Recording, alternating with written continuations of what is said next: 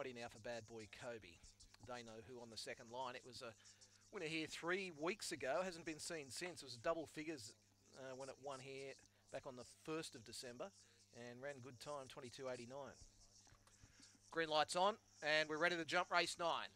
Set, Racing, Parabatai began beautifully over They Know Who, Scarlet Tilly, Bad Boy Kobe the outside, uh, Angelic Hand getting a run through, Rose of Lumpany and Tom the Bomb. They jam up down the back, driving through Scarlet Tilly, Bad Boy Kobe out wide. Uh, checked off their heels was They Know Who and still in front, Parabatai. Parabatai just over Bad Boy Kobe, Scarlet Tilly, Tom the Bomb getting up on the inside. Bad Boy Kobe ran to the lead close to home and Bad Boy Kobe over Scarlet Tilly, Rose of Lumpany I think got third just ahead of Parabatai.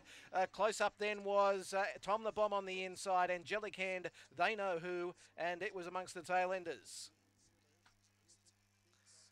Bad Boy Kobe. Scarlet Tilly, second. Seven gets third, Rose of Lumpany. 657, 2361.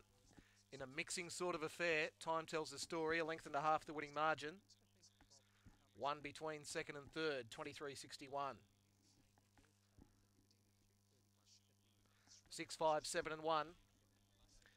Run home, 15 15.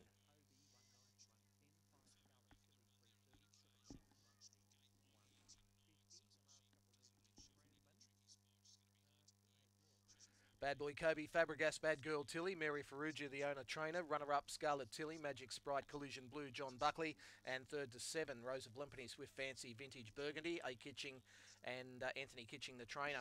One and a half by one, 23.61, and, we'll, and uh, more shortly after race number nine.